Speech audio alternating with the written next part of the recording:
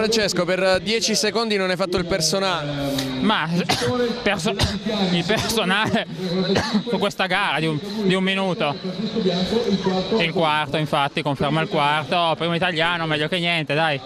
Hai avuto difficoltà e se sì dove? Sì, ho avuto difficoltà lungo la gara rispetto all'anno scorso perché è stata una gara corsa sempre insieme al Macrut che penso che stia arrivando e molto a scatti abbiamo corso sempre da soli, a scatti, a strappi, non, non, si riusciva a correre in modo regolare.